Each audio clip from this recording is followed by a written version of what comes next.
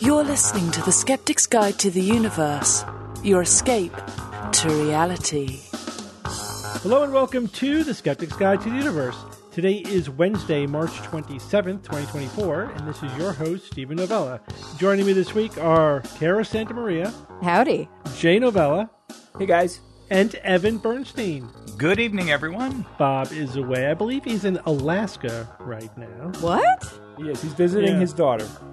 Oh, cool. Yeah, his daughter basically lives and works in Alaska, and he's visiting Wow. her. Why didn't I know that? I don't know. That's cool. Yeah, she works with wolves and bears and stuff. You know, she's What? seriously. Yeah, she works at a she works in an A circus. animal No. conservatory. Why is it that we what, that anytime we talk about wolves and bears and stuff, Bob doesn't seem to know more?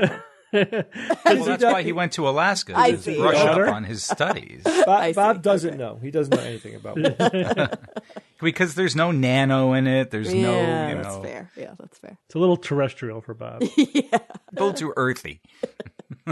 no, it's really neat. She's, you know, she, we saw lots of pictures and video of her like working directly, you know, with these with these animals. Obviously, That's the so really cool. dangerous ones are behind a fence. It is uh, Alaskan wildlife. It's really That's cool. awesome. Yeah, Wow. yeah, that's something, man. You know, she's spent her winter up in Alaska. That's dedication. That's I understand yeah, it gets rather nippy up there. Yeah, can do. They It got a ton of snow. Like they got like snow off the charts. So last week, guys, Ian Mm-hmm. sent us a link to the latest AI phenomenon. Uh oh. I know I just sent you guys an example. This is uh, suno.ai, Mhm. S U N O, and basically it makes songs. So you put in, you can either manually put in lyrics or you could put in topics and have it make you lyrics. And then you type in a description of the type of music. It could be a genre name, could be just a description of what you want it to sound like, a style. It doesn't do artists, so you can't say in the style of John Williams or whatever. You know, it doesn't, for obvious Ah. reasons, it won't do that. But you could describe it, just describe what the music is like. And then you hit create, literally 30 seconds, and you get a full song, two minutes. Sorry, once again, what are all the parameters you can give it? I just said, so it's lyrics, and you can Lyrics? do instrumental or not instrumental. So, so you actually feed it the exact lyrics, or you give it like ideas? Either way, either way, you could you could Okay. do Okay. you could do you could write your own lyrics, or you could do what I did, which is have ChatGPT make the lyrics, just because I think it does a slightly better job than their lyrics generator. And then I still would tweak it to, for for punctuation. You learn like how it reads what you write. You know what I mean? So it makes correct breaks. So in if you wanted to say sentences. SGU, you have to do S period, G period, U period. If you put in SGU, it says ska. Yeah. Oh yeah. and then yeah, These- then instrumental or or, or with singing, and then Mm-hmm. again style of music, which could be a genre name or it could be a more of a just a natural language description, or you could say use random style and then create. That's it. Did you say Gangnam Style? Random. So how many Style. how many did you go through before you got those two? 30, 30 or so. Were they? I have a question, and I'm, uh, this is not. This is there's no bias here. How were they all male singers? No, nope. Okay, you just really. Uh, it's just these two songs were the most like um like they made the most sense. That's why you picked them. Like they were the most coherent. They they were I thought a little bit tighter than than some of the other yeah. ones, and you know, and I was just playing around, you know, so They're. I mean, they sound real. Yeah, they sound like thing. real songs. So if you had like if this were five years ago, you know, Mm-hmm. and somebody played these songs for you, we'll play one in the show, and you'll get you'll hear what we're talking about. We'll play Mm-hmm. an actually full song. You wouldn't. I don't think you would question for a moment that this was a real person playing the music and singing the songs. You know. And even now, if you heard it, if you weren't alerted to the fact that these might be AI, I don't think you would necessarily assume that they're AI. You know what I mean? It's Yeah. Right. it's pretty good. Oh, Now, it's really yeah. good. when I mean pretty good, I mean technically good. You know, Jay and I were talking about this earlier, trying to find what's the perfect word to describe this. They're they are all a bit soulless, right? They're they're Oh, completely soulless. yeah, they're they're derivative.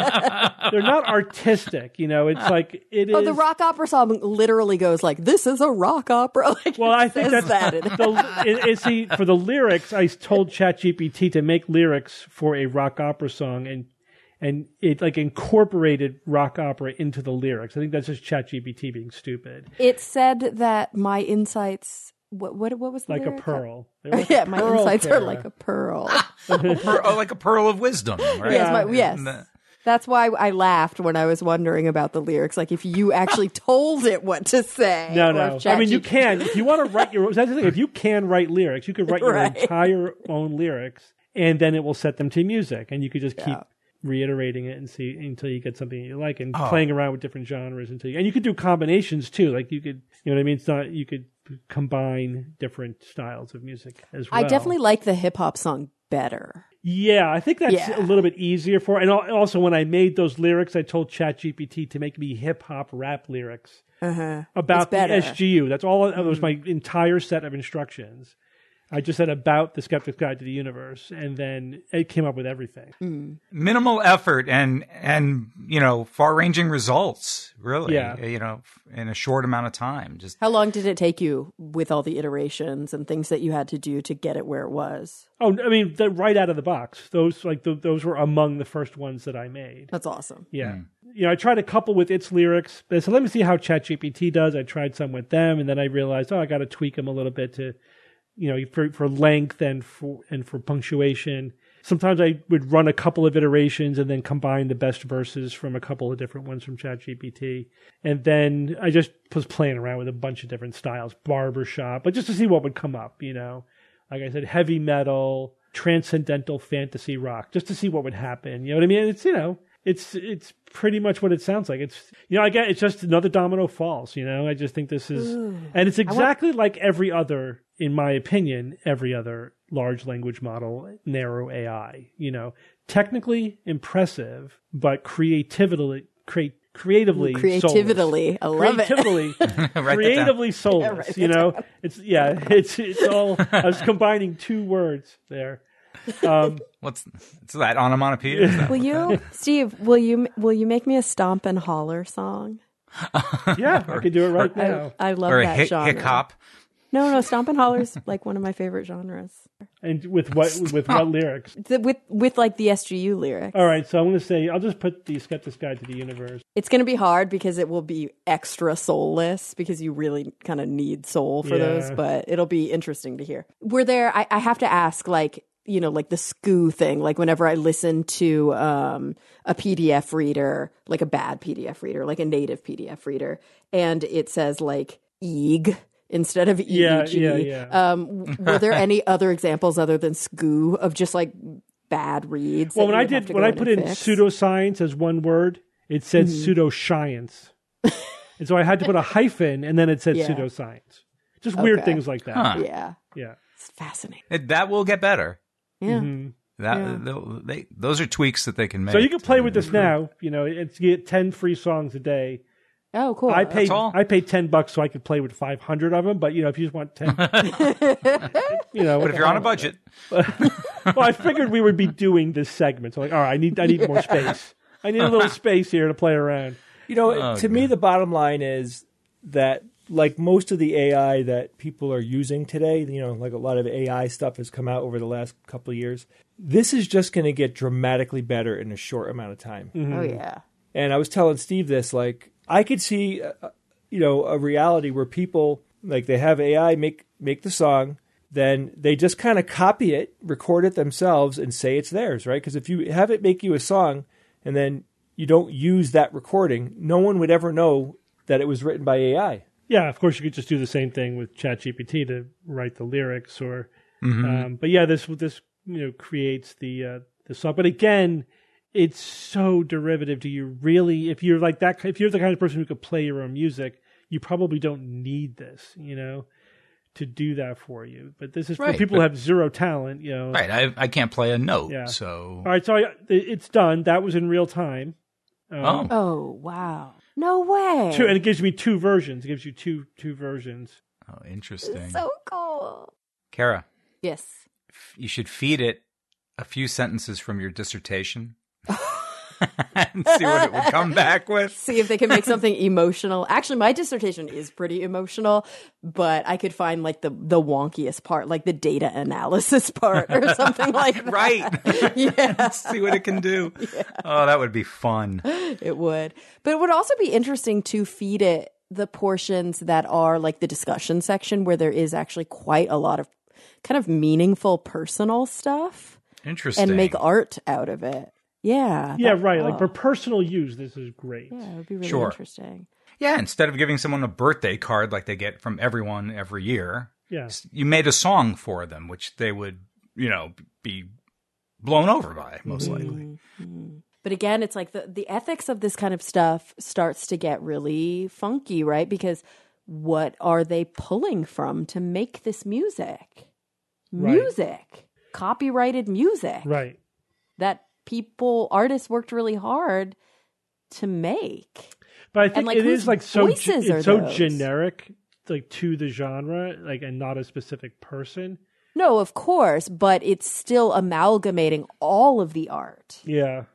in order But to how is do that, that. how is that different than a person who's listened to all that art than making a song in a Yeah, genre? they have to have a frame of reference. it's Yeah, not, but it's that not, person right. would be getting paid to do that.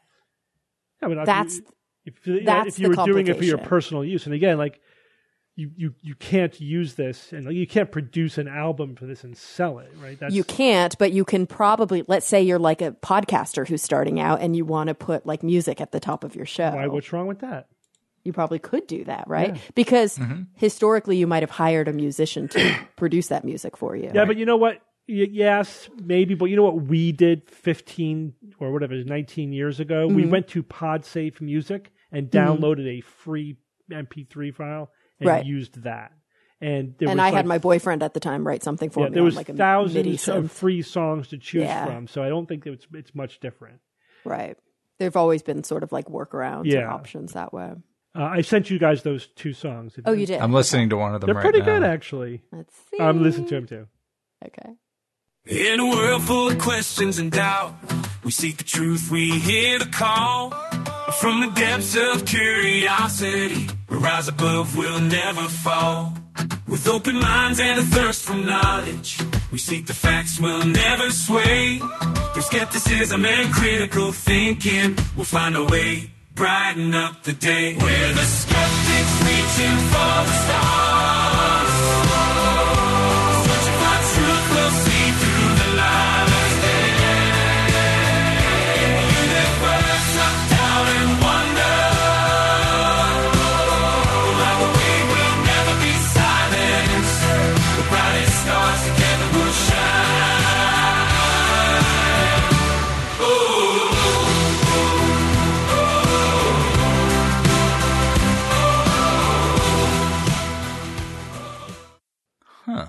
First one's a- terrible. It has So- a. Uh, it sounds like country music. It has a gospel feel. Yeah, the first one's awful. Hate it. Hate it. Nope, Fair don't like either of them. Second one's a little twangy. Hate them. Well, I mean, it, Hate is 'em. that is that this genre? Is, Eh, is it it's correct? it's it's a version of it. No, it's not the version of it that I like. I like uh I don't know how to describe it. well, who's an artist? Uh, that, Lord Huron is one that I listen to a lot. Okay. So it's much more sad. The ver- like the the style of Stomp and Holler that I really like, and this feels very country. The, so these were lyrics made by the music app.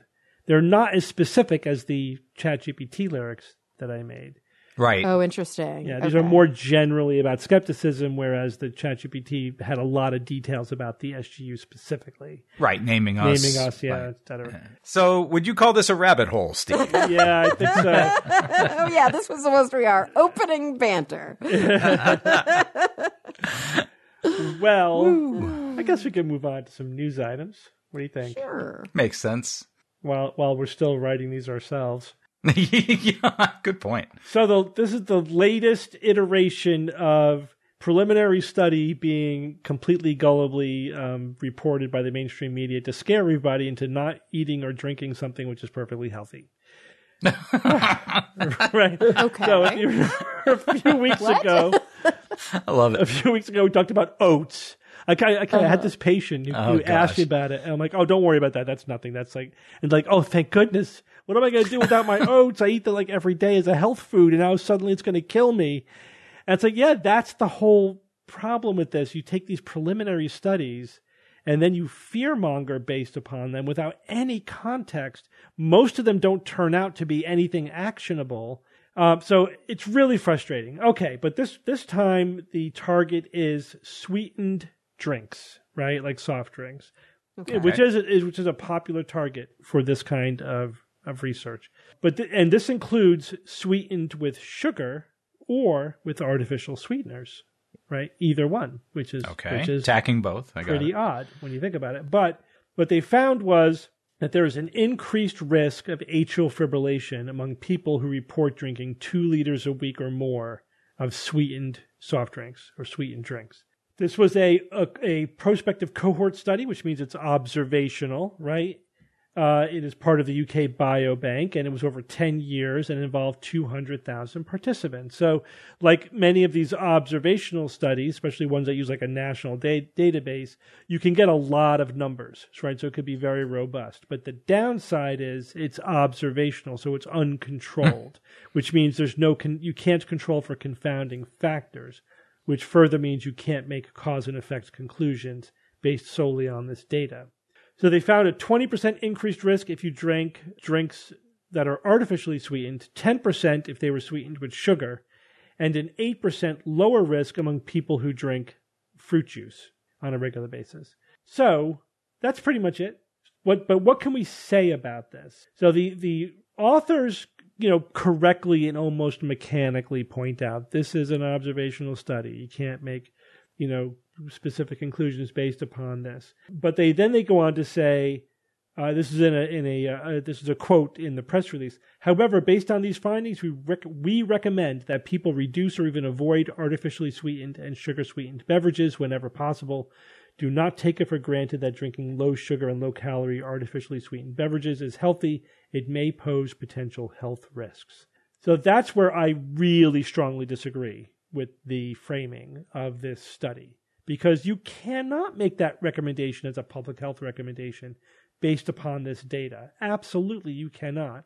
And telling people like not to drink low calorie beverages can have potential downsides, right? Right. Especially people who are relying upon them to reduce their sugar intake. And there's mm-hmm. there's clear evidence that there's an advantage to not drinking hundreds of calories of sugar every day, right? Right. Mm-hmm. So let's talk about the caveats. And most of these hopefully will be reflexive by now for regular listeners of the show, right? It's there. Are, what are what are the potential confounding factors here? So first of all, this is self-report, and people notoriously self-report inaccurately, especially when you're going back years, like you know, and so that makes means the data itself is is unreliable. Uh, but even if we take the data itself at face value, uh, because it this is a uncontrolled observational data, we don't know what all the all the confounding factors are. So, and they and they were able to show that there were lots of confounding factors that they did not control for. The only thing they really tried to control for was genetic predisposition to AFib. You know, people who drank more sweetened drinks tended to be more overweight tended to have other cardiac risk factors, and this is like almost a universal risk factor, were of lower socioeconomic status. Uh-huh. And so you I- didn't control for any of that? they did not, no. Did they control for like lifestyle factors like smoking? Well, they, they did independently look at that, and they, and they and what they found was that if you smoked, the negative effect was worse, but it was still Okay. there even when you remove that factor.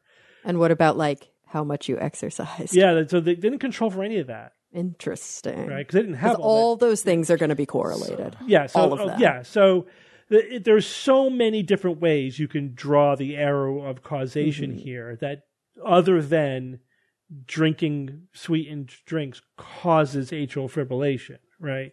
You know, our diets are complicated. You know, first of all, right, and being and even saying something about people's diets is complicated, and they correlate with so many other things in terms of mm-hmm. our that that impact our health. So here's and now so for me like I'm reading this and I'm waiting for like this one particular piece of information and it didn't drop until the very end. To me, I was like, I was shocked that they didn't even look at this. But um, at the end of the press release, uh, and it's buried in the study, they say it is also unknown if sugar and artificially sweetened drinks contained caffeine. So they didn't even assess for no the amount of caffeine in the drinks. Now, when I was writing about this for Science Based Medicine, I did some re- background research on okay, well, what's the association between caffeine and AFib? And it's really complicated, actually. And it doesn't necessarily increase the risk of AFib, but we, I don't think we really know the answer at this time. Interesting. Even at really high doses? So unfortunately, well, probably yes at high doses. Mm-hmm. Like the so all right. So part of the problem is most of the caffeine and AFib research looked specifically at coffee intake. Mm-hmm. And that's very complicated because coffee contains about a thousand compounds, and some of them are known to be cardioprotective. And in uh-huh. fact, if you drink like one or two cups of coffee per day, it seems to be protective against AFib. but oh, And there's that's probably nothing cardioprotective in soda. yeah. So, but that's it's hard to know if that's really the case. Like the da- not everybody buys that data, right? Because Right. it's again it's complicated, and and there have been meta analyses that basically say, yeah, it's basically a wash, you know, and, you know, and in terms of, but that's looking at coffee. And then they say, and then they say, yes, we actually need to do to actually study this in a controlled manner because we don't manner. We don't really have a, have the high quality data that we would need. I could not find any data looking at caffeine from soft drinks specifically. Mm-hmm. I could find data from caffeine from energy drinks, and they do have a higher risk of AFib. So the question is would soft drinks be more like energy drinks or more like coffee? My bet is on energy drinks, but not as bad because they don't contain as much caffeine and sugar, but you know, but they still Right. contain but they but they look more like that than than coffee, which is a more much more complicated, you know, combination of factors there. So that wasn't an easy, you know, an easy answer in terms of the background research. But this study would have been a great opportunity to look at the association of caffeine from soft drinks and AFib, but they didn't even look at it. Um, so at the end of the day, I think that this study is essentially uninterpretable in terms of what it means for public health. We can't say the data is too uncontrolled. They didn't control for so many obvious variables. They didn't even look at caffeine. And here's the other thing, and this is true of any study where you're just looking at what people eat. There's always a flip side to that question, right? Mm-hmm. Because in many ways, what we consume is a bit of a zero sum game, right? You can only drink or eat so much. And if you drink a lot of something, you are not eating or drinking a lot of something else.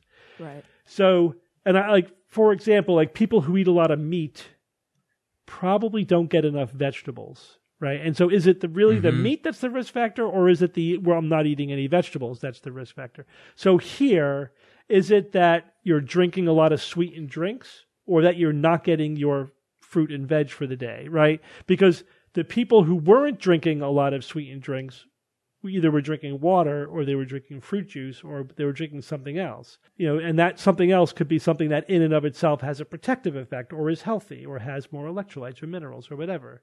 And so It's also like you just can't lump together people who are drinking. I mean, you already said this, but like people who are drinking high sugar sodas with people who are drinking diet sodas. right, that's the other thing I found just They're two wildly different things. Yeah, it's weird about this study. Why would they be the same? They would have to mechanistically be entirely different.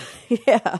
right? The fact that they're both sweet is a very superficial commonality there. They're Right. different chemicals. They they different calories. They they have a completely, The biochemistry is so different in your body. completely different. Yeah. So that to me, you know, made the made the results a bit odd as well. Mm-hmm. So yeah, at the end of the so I think at the end of the day, this is a preliminary study. It is the kind of study that we could use to generate hypotheses, but not draw firm conclusions. You can't make any recommendations based upon this. It was irresponsible to make health public health recommendations based upon this kind of data. And I do think that in general, we need to raise the threshold of when we trumpet these kind of results to the public with warnings or scary headlines or whatever This is, you know, there- it creates so much of this noise that it confuses the public and it reduces their their confidence in the system. Right? Sure. Oh, 'Cause- completely. And, Yeah. and how many times I can't tell you how many times I've heard people say, "Ah, one week you're not supposed to drink this, and then the next week it's fine." know. You know, they, they just get so overwhelmed Jaded. with the Yeah. noise. Yeah, with and the, then they yeah. stop trusting their doctors. Exactly. Yes. Then when you And- say, "Oh, vaccines are good for you," then they don't know what to what to believe. You know, Right. It sort of contributes to that as well. So Yeah, this, it's all that it's all those little snippets of misinformation that Yeah. people hear over and over and over again until like one day they wake up and they don't realize that it's become a fact in their head. yeah, And that that Yeah, and they're making life decisions based on it. exactly. Which is yeah, which is not to skip ahead, going to be deeply relevant to the to the topic that I'm going to talk Right. about in a minute. Oh boy. like But, the- uh, another the- thing yeah. that's so, sorry steve but another thing that's super frustrating about this is because when you look at these observational studies that are just taking a cross section of a huge group of people it gives you no information about for example most people when you look at their behavioral decisions while it may be true that some people their whole lives have have drank diet soda because it was a choice that they made. They were like, uh, I don't want to drink high sugar drinks. Diet soda seems like it might be a healthier choice. I'm going to start off drinking diet coke. A lot of people, I'm going to use people from my own family for example, found out that they were pre-diabetic or diabetic and switched to diet soda. Mm-hmm. And because they switched to diet soda, they are now making healthier decisions, but they are you know, in some ways trying to undo a lifetime mm-hmm. of sugar intake. Mm-hmm. And so you're sort of looking just at a cross section of time, but you don't know how much of that, like, biochemistry is from before versus now. Exactly. Also, again, because with observational data, you Mm-hmm. don't know. Like you could say, there's a correlation between drinking, you know, diet drinks and diabetes. But is that because they're drinking the drinks because they have diabetes? and they're trying to Exactly, that they it? just switched over because of the diagnosis. That's like there's a huge correlation between dieting and being overweight. Yeah. Right. Is It's that- like we're switching. yeah, exactly. It's like the arrow goes in the other direction. Yeah, there's a, there's like a healthy user effect, and there's also Mm-hmm. like an unhealthy user effect, right? Yeah. So, and either of those can happen depending on the, you know the context. That's why observational data is so tricky. And you know, Cara, how many times, like in your profession and my profession, where some correlation has been in the literature for years, maybe decades, and then somebody comes along and flips it on its head because they thought of one confounding factor nobody else had mm-hmm. controlled for before. You know? Completely, because sometimes it's obvious, right? Because there's face validity and you can make a mockery of the whole thing. But sometimes, you know, you can't. It's it's like saying that there's a core, you know, it's like saying there's a correlation between depression and antidepressants. Yeah. It's like, well, clearly because we're treating depression with antidepressants. But if it's, you know, if we didn't know that already, then it wouldn't be so obvious. Yeah, one of- one of my favorite examples when I read about, it, I was like, oh yeah, this really is a good example to use to demonstrate this. Is the association between alcohol and longevity, and it turns out that the uh, people who drink a little bit of alcohol tend to be healthier than people who drink no alcohol. And this led to the well, alcohol in small amounts is actually protective. It makes you live Right. longer. We've but it turns out that. Yeah. that the no alcohol group included a lot of ex alcoholics who had already destroyed their health. And, Right, and once you remove that as a confounding factor, the beneficial effect of alcohol goes away. Uh-huh. But that that was like a decade in the making before that got sorted out. I mean, It's like, oh yeah, what about all the mm-hmm. sober people? Yeah. Oh yeah. yeah, all right. Wow. But of course, everyone's just going to remember. Oh yeah, that's all. The sweetened drinks are not good for you. Yeah, but don't worry, the media will sort it out for us, right? Meh. All right, Jay, tell us how big a difference one degree can make. Let me turn that around on you, Steve. Do you think, or do any of you guys think, that you could detect a one degree temperature change? Yes, I believe I can. Fahrenheit. Cara? Celsius. Doesn't matter. Oh, that's a wider range. exactly. One it degree. depends. Are you You talking think- about That's like in- easier. You think in, if you were in a water room with in your house, food? Oh, in my room in my house. if one I turned up the temperature by one degree, do you mm, think you could feel not. it? Honestly, probably not. Yeah, like I don't. I believe I can. Well, you're a mutant. There's there's largely, you know, it's something that is pretty undetectable, right? Yeah. It, it it temperature fluctuations happen literally when you walk from room to room in your house, and you're not like Yeah. You know dramatically like, oh my god, you know, one degree isn't really that much, but it's profound when it comes to our climate. And it's a really concerning situation because let me jump right into this. Like a recent study by an ecologist named Andrew Richardson. He uh, he's at the Northern Arizona University and he published something in the Journal of Geophysical Research and he went into detail about the severe consequences of slight temperature increases on snowpack in boreal forests, you know, northern forests, eh, right? So this is a really serious problem and the research that they did was fantastic. It really really cut down to the bone here on what's happening. So the forests that span the northern regions of, of three continents, these play a, a pivotal role in our planet's ecosystem. You know, basically, most forests around the world, you know, have a, a very large impact on local ecosystems, if not, you know, all of them. I would imagine that they all do because of how many animals and different types of plants that live live in those areas. So their research indicated that even a minimal war- warming, like one degree Fahrenheit, can lead to a substantial decrease in snowpack. So why should we care about snowpack? Well, snowpack does a lot oh, of different things. It's actually reflects that sun away. Yeah, like it's it's very effective from keeping heat out of uh, you know going down into the ground. It's like a it's like an insulator of the cold. And when this happens, when when that cycle is broken, when the snowpack lessens or or you know if it disappears, this creates a cycle of warming. So the less snowpack we have, more sunlight and heat are absorbed by the ground, and then that leads to an increase in soil temperature, and then that leads to the air temperatures increasing, and then this speeds up this process of snowmelt, right? So even a little breach inside that snowpack cycle that we have can have a, a profound downriver um, impact on on you know the way that these these forests operate.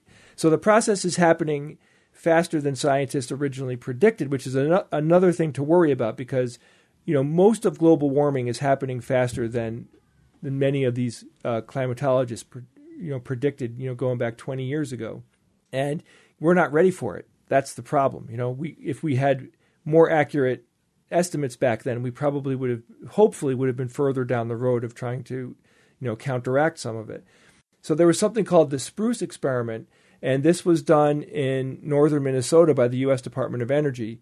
And that, that study that they did was the basis for the study that I'm actually reporting on right now. But let me, let me tell you about a little bit about the spruce experiment because I thought this was really interesting what they did. So first off, it was a very, it was an extensive experiment. They used a 30 foot by 20 foot enclosure or multiple 30 foot by 20 foot enclosures, and they equipped these with fans and heaters to mimic future climate conditions. And they did this specifically to observe the effects of temperature changes on, on particular ecosystems. So they took a time lapse uh, photography. Every 30 minutes, they take a picture. And what they were able to do was to just see what changes take place. And this helped them monitor the, the conditions inside each of these different enclosures. And they were able to estimate that snow depth and snow cover um, allowed the researchers to draw comparisons with historical snow depth and precipitation data. And they clearly saw with minimal temperature change just how much the snowpack uh, could be affected by, you know, just by a minor temperature change. Like you would think one degree, you know, what would that do? It actually does a lot. One degree is actually profound when it comes to snowpack.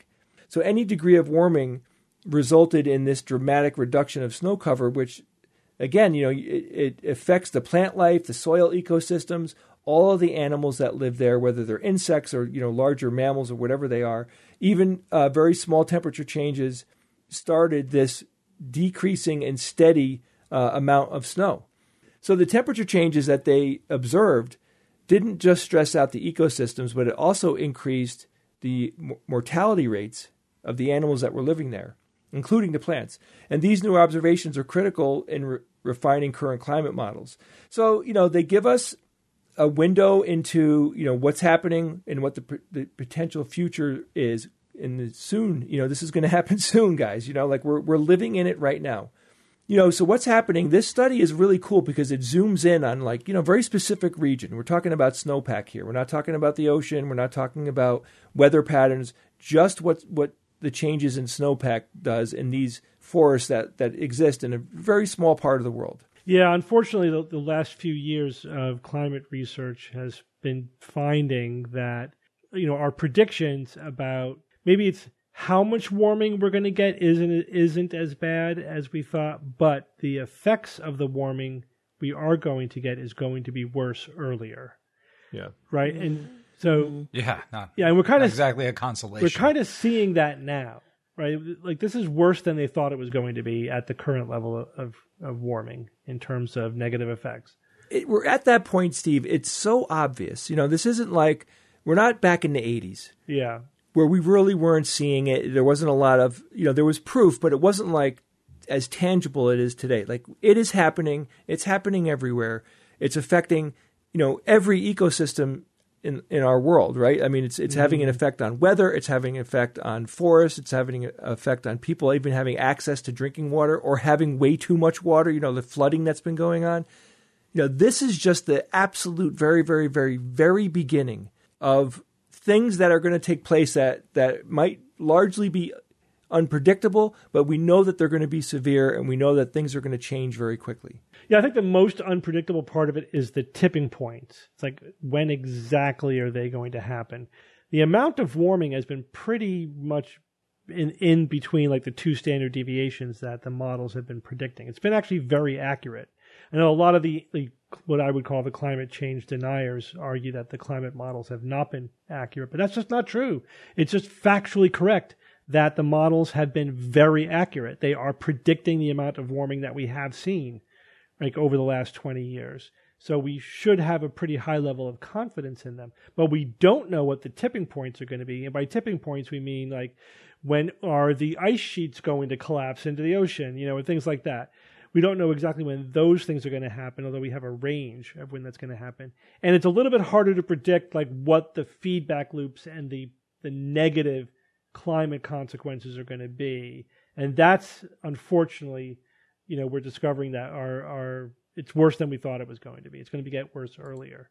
These studies are rolling in. You know, like I'm seeing them all the time now. You know, like as the funds were allocated for for these um, you know different organizations to do deeper research into into these issues. Like we're seeing the information. It's there. It's clear. You know, Yeah. we're seeing it manifest globally, and I I don't understand for the life of me, guys. I don't get it. What the hell is the lack of effort? Why, why aren't Well, we? listen? I, I don't think we should. talked about that. We don't. We shouldn't underestimate the task ahead of us. We have a global technological civilization that is built around fossil fuel, and that is we shouldn't expect that to change easily. But it is unfortunate that there is, you know, there are some political, uh, you know, ends of the spectrum are pushing back against doing anything about it, and that um, you know even I think people who want to do the right thing often don't know what the best path is.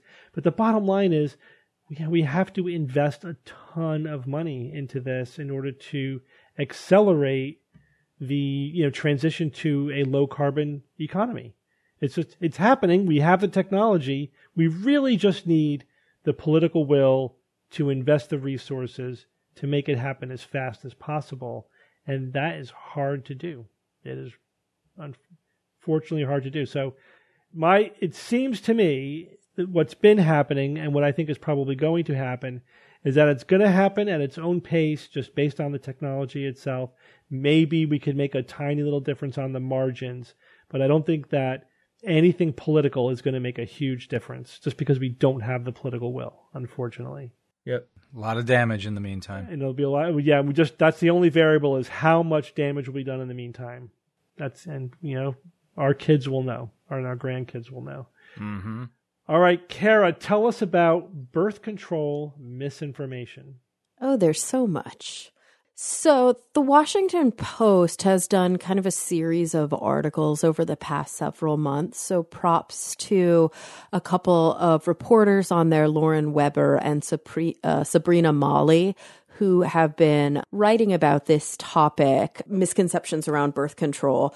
Basically, there is a big movement on social media and especially TikTok, also to some extent Instagram, where we see a lot of kind of re- repurposing of TikToks where there are these social media content creators who are making quite a bit of money telling young women to get off the pill. And you know, ditch your IUD, ditch your birth control, and here's why, and here's how. And it would be one thing if the reasons behind this new push were legitimate. And it would be one thing if the outcomes of these pushes were safe.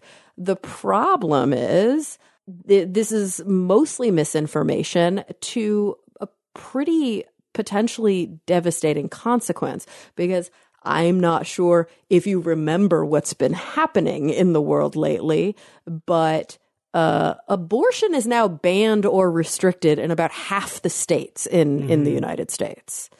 So if young women are choosing to ditch their birth control and are choosing instead to utilize, quote, natural alternatives to birth control that have high rates of failure, what many doctors are anecdotally, I have to say that, anecdotally um, telling reporters that they're seeing is um, a lot of young women coming in with unwanted pregnancies. Um, we don't have the numbers yet about upticks because this is a pretty new phenomenon. But many of the doctors that are being interviewed for some of this coverage are saying that their patients are telling them that social media influencers are fueling their choices to get off of birth control and that their reasoning is um, very often due to things that the doctors are then having to counter because they are not uh, evidence based. Should we call them TikTok babies? Is it too early to do that? it's probably going to have to start happening, sadly. Uh, what do you think is motivating this misinformation? Where do you think the kind of the bulk of the the commentation, the commentation? That's not the a word. wellness, just wellness. Write that down influencers. too. Right. And when we think of wellness influencers, what do we think of usually is the political alignment of that? We usually think of that as like a, a kind of a like Libby left wingy kind of a thing, right? That's- I think it's both. Sadly, this is this is coming out as a very conservative mm-hmm. movement. Mm-hmm. So it's a whole new wilderness out there. We're seeing more and more conservative commentators and influencers. There are a few names that are specifically being cited here. There's someone named, let me find her first name. Her last name is Bendayan. She's actually a Spanish influencer. She's 29 years old, Nicole Bendayan, who has a million followers across Instagram and TikTok. She's a holistic health coach.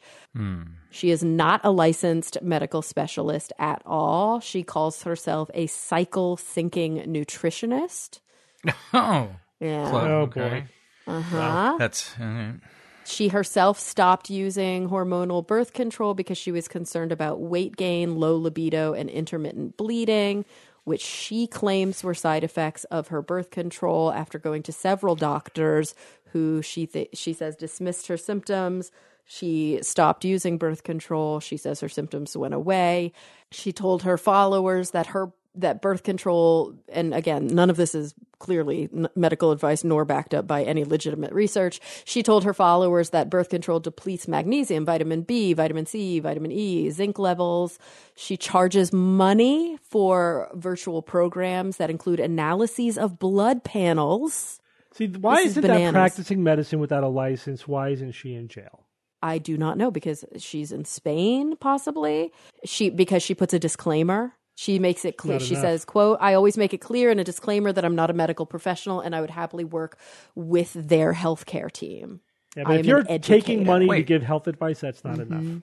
so. Is reading a blood panel like what? Taking some blood, putting it on one of those glass things, putting it under a microscope. think just and, get, No, I think getting she's it from probably a just- lab. You know, getting a lab to do. Yeah, getting the readout. The lab has already analyzed. Oh. I see. Yeah, right. yeah, so they come back with the numbers and the figures, and then she, will, gives she them will interpret a that regimen. Exactly. Yeah. Mhm, and recommend a course. Mhm. She's actually had, I think, some of her videos removed. Yeah, TikTok recently removed five videos linking uh, birth control to mental health issues after the Washington Post reached out to TikTok specifically and saying, "Hey, TikTok, how are you preventing the spread of misinformation?" They're not. hmm They're And not. so they're they, waiting for the Washington Post to contact them, and then they'll So TikTok reactive. took down the video saying that they violated company policies, quote, uh, prohibiting inaccurate, misleading, or false content that may cause significant harm to individuals or society. And then, of course, Bendayan's statement was that she, quote, fully supports the removal of any content that may inadvertently perpetuate misinformation.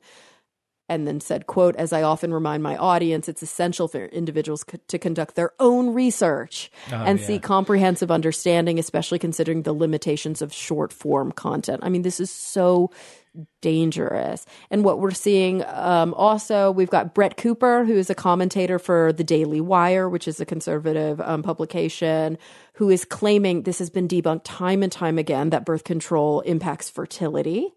We know that this isn't true. This has been debunked over and over. We've got Candace Owens uh, denouncing birth uh, control, uh, uh, both pills and IUDs, as unnatural and impacting fertility. And, and of course, Ben Shapiro talking about birth control side effects, claiming that birth control pills, that women on birth control pills are attracted to men who are less traditionally masculine okay, so here is something that here here's a really really interesting one. So there's a woman named Brittany Martinez who founded a magazine called Evie, and her magazine has been questioning birth control quite a lot, and she actually has started another company. She co-founded an app, like a, a tech company called 28 that is backed by Peter Thiel. I don't know if you guys remember Peter Thiel, but he mm-hmm. was one of yeah PayPal's original founders. Yep. So so 28 is a menstrual cycle tracking app and it's really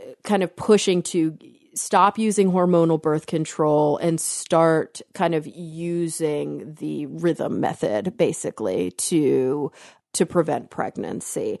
And there are interviews in this WAPO article with a sociologist from the University of Colorado, Amanda Stevenson. And it's pretty interesting the sort of connection between these sort of conservative pushes, these anti abortion activists, and legislative pushes to restrict birth control, and these appeals on social media to sort of demonize and push misinformation around birth control as medicine and push for these sort of like rhythm methods and things that we know can be effective but have massive failure rates because it's very very difficult to to utilize them effectively it's, you know, they fail if somebody is peri or premenopausal. They fail if somebody, if it's, you know, their basal body temperature is off. They fail if somebody has recently had an abortion. They fail if somebody's hormones are not easily measured. And so, So they're recommending one solution for all of it, basically. Uh, yeah, right? they're basically one- measure they're they're basically recommending no h- hormones and also no medical insertions like IUDs. And they're saying that all of those medical options cause side effects. And now what we do need to be clear about is that some of these side effects are real.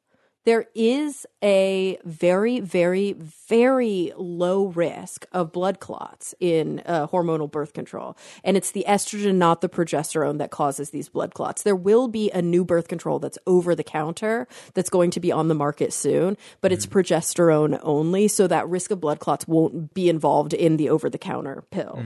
Uh, most of the, the hormonal blood, uh, sorry, the hormonal birth controls that are available now are combined estrogen progesterone, and they do have a risk of blood clots. is very low. I think it's something like, th- okay, three to nine women out of 10,000 women who are on the pill. So that's still lower than the risk of developing a blood clot, clot during pregnancy. Right. Right. So if you got pregnant, you have a higher risk of getting a blood clot.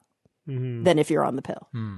Right? So it's like risk Yeah. management. We have to think about these things. Risk versus uh, benefit, right? Exactly. Yeah. Probably all things Um, considered, you're at lower risk than, an, than the risk of an unwanted pregnancy and everything that goes along with that. Totally. And there are other side effects. Like we, you know, there are side effects of you know, some some women have nausea, some women have breast tenderness, but usually those side effects can be mitigated by switching forms of birth control.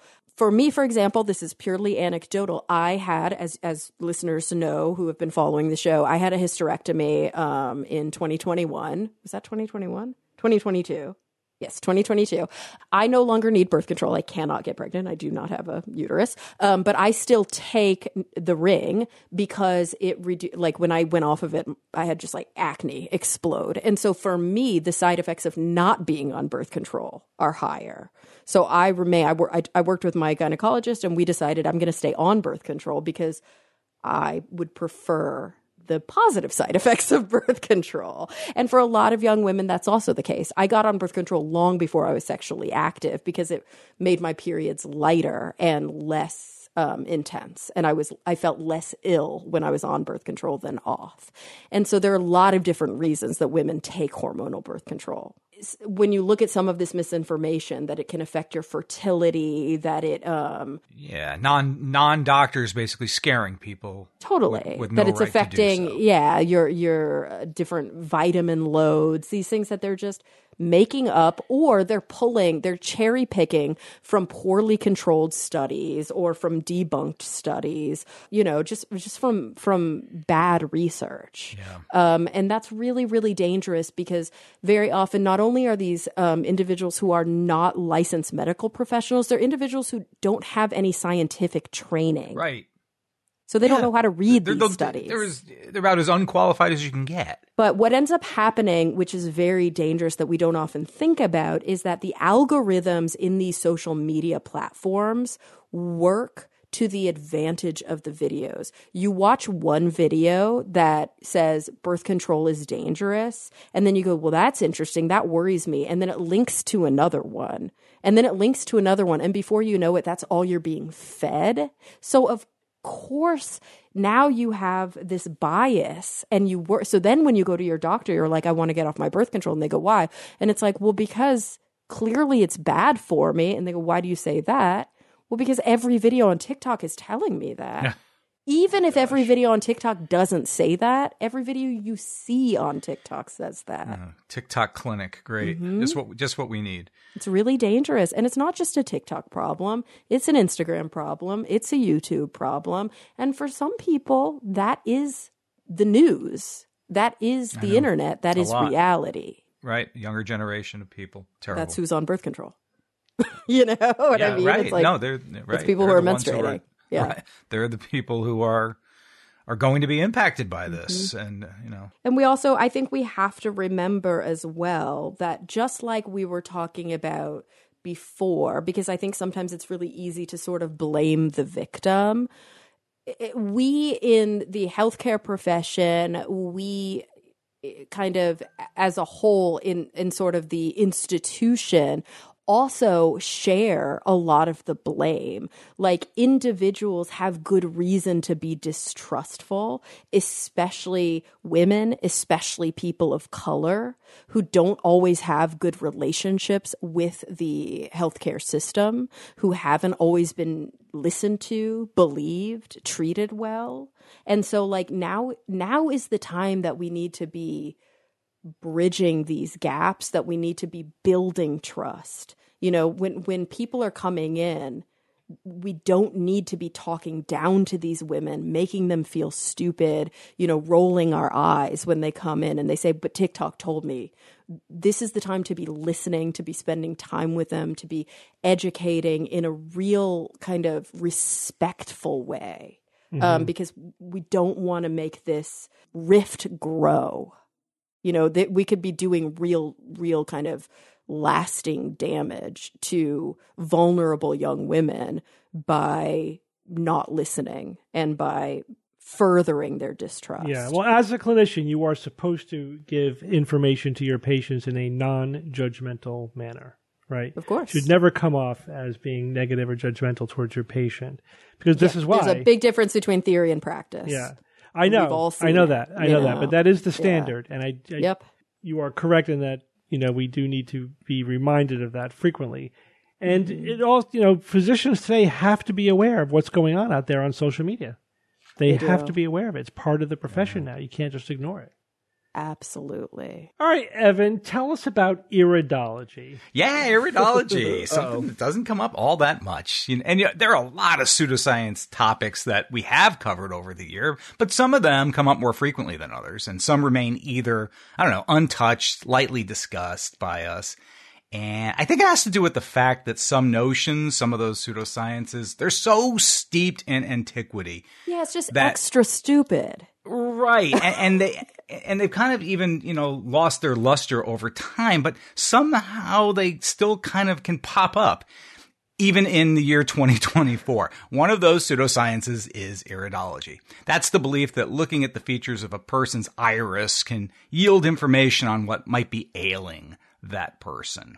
And this is a type of homunculus theory of medicine, which we've talked about before. Homunculus means little man. In other words, there's a little entire you to be in, to be observed within a certain part of your body, or in some cases, a bodily fluid which I've read about as well. Now, reflexology, the homunculus that exists on the sole of a person's foot. Palmistry suggests a homunculus within the palm of a person's hand. And iridology, the homunculus in a person's iris. And yeah, the subject doesn't pop up a lot these days. It's an anti-scientific way of thinking about diagnosing the health of a person. A total throwback to a time when what other health theories like chiropractic and animal magnetism were were getting started. All 19th century kind of stuff that was that was coming along really before we got a better grasp on scientific approach to medicine. Who was it? Ingatz von Presley Prexley Hungarian physician? He was the one who came up with this. You know the story Steve. Oh yeah. The Yeah. owl? Yeah. Yeah, 11 year old boy. He noticed an, this was in 1861. There's an 11 year old boy. He noticed an owl in a tree in his backyard. He tried to catch the owl and the owl had a broken leg or he broke of its legs accidentally. And there was, and he looked into its eye. There was a dark stripe that had developed in the lower part of the owl's iris. But then he healed, he tended to the owl, to the injury, nursed it back to health. The owl became kind of, I don't know, like a, like a, a, a pet in a sense. But he later noticed that the appearance of white and crooked lines in the part of the iris where the dark stripe had been had taken over. And there you have it. An entire pseudoscience born in the mind of an 11 year old child in the middle of the 19th century. So it's in the news, and here was the headline I read using alternative medicine to unlock genetic clues through the eye. Yep. The article is a puff piece. And if you think about it, that's a very clever pun.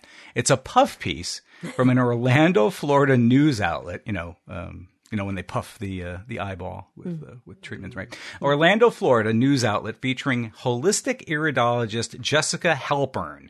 Now, she had learned about iridology about 20 years ago uh, when she went to see actual doctors about a condition which she was experiencing, and she was clearly unsatisfied with the result. So a friend suggested, hey, go see this iridologist instead. And she was so impressed by that iridologist, she became an iridologist. And to become an iridologist, you don't have to have any formal medical training, which, you know, would frankly only get in the way with things like double blinded clinical trials, you know, that annoying kind of stuff. But Jessica says iridology can help see if someone has an increased likelihood to develop a particular disease based on their genetic makeup. Here's a quote. I can see predispositions. I can tell someone I see a genetic predisposition. Everything going on in the body registers through the brain, and the brain sends the signal to the eye.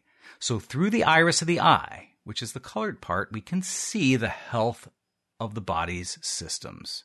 Steve and Cara, did you know this?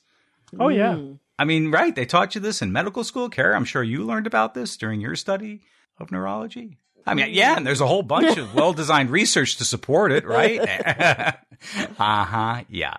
So, of course, uh, the vast majority of doctors in general reject these claims.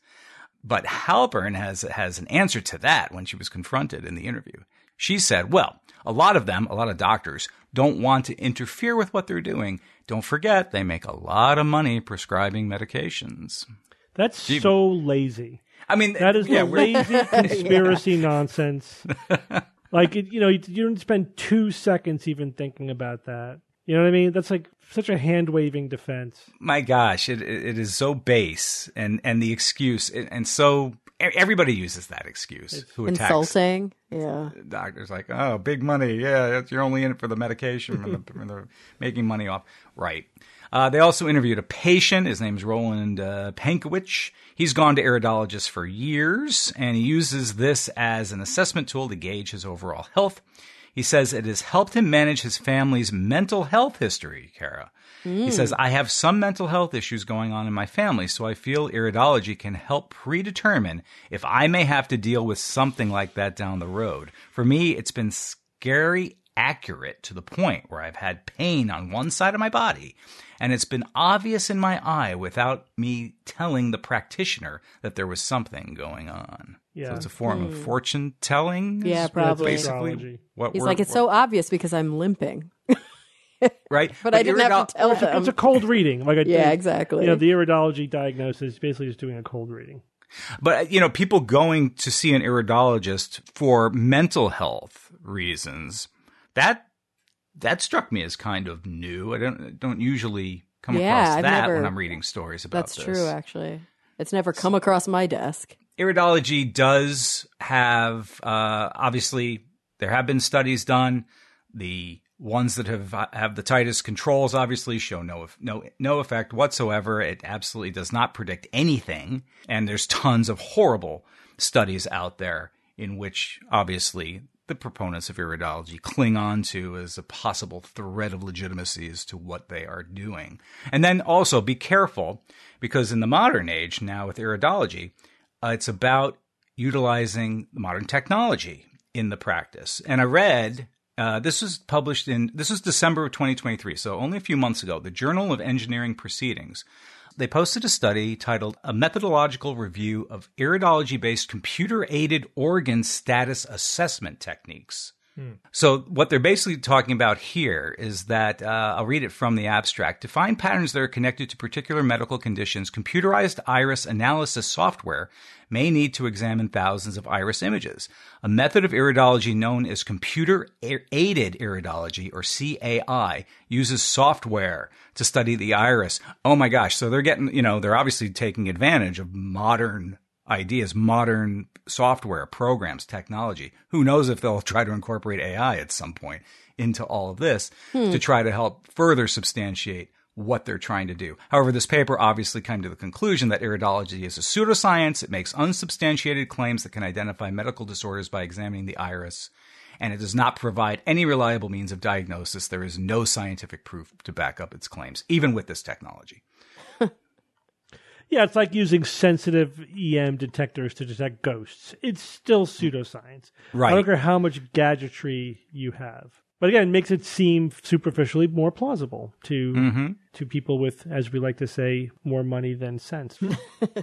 But you don't think, you know, and something like phrenology, that's not something that is widely, I, I don't think, accepted by people these days. And even if there are a few fringe people out there who might, it, it, it yeah, doesn't, the it few doesn't have people is a good good way to say it. But uh, hey, look, you know, with TikTok and something, I wouldn't be surprised if there is some some phrenologist out there who has half a million people listening to what he has to say on on a social media platform. So, you know, TikTok is a cesspool of misinformation. Oh yeah. unfortunately, unfortunately, And it seems like it's getting worse. Yeah, it's Mm-hmm. getting worse. All right, Jay, it's who's that noisy time? All right, guys. Last week I played this noisy.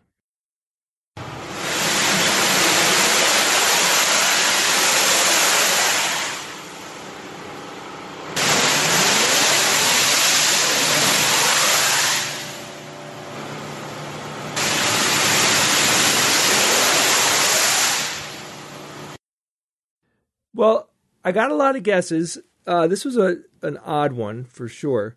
This one, this uh, answer was sent in by a listener named Colin von Huring. And he said, "Hello, Jay.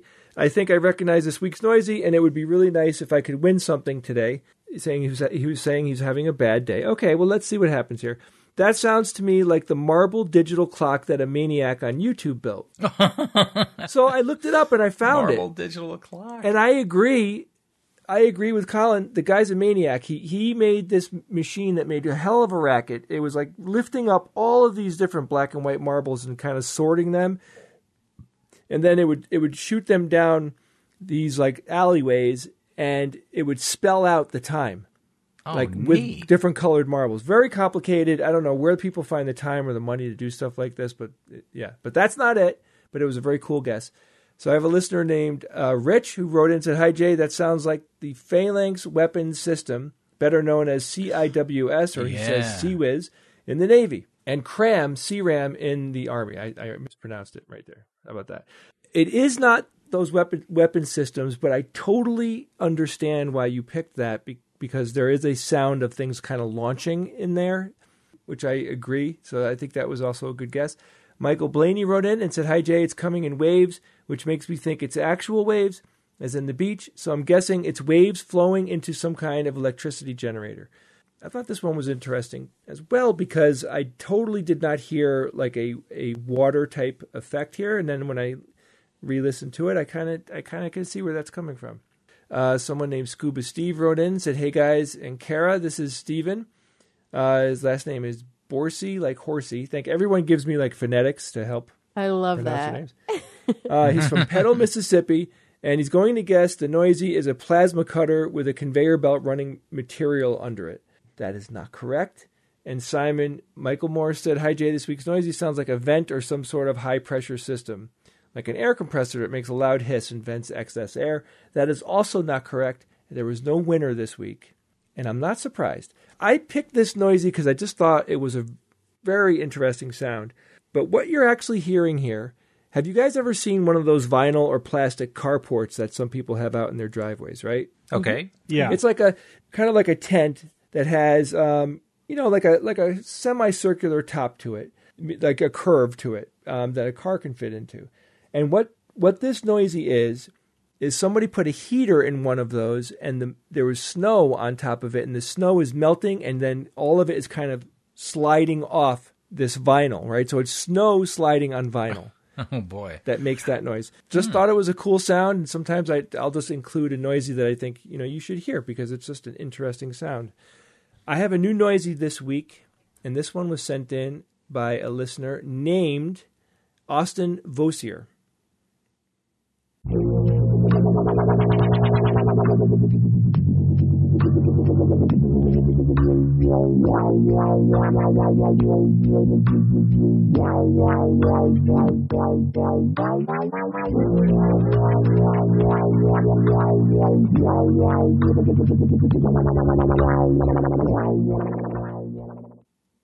All right, so if you think you know this week's noisy or you heard something cool, email me at WTN at theskepticsguide.org.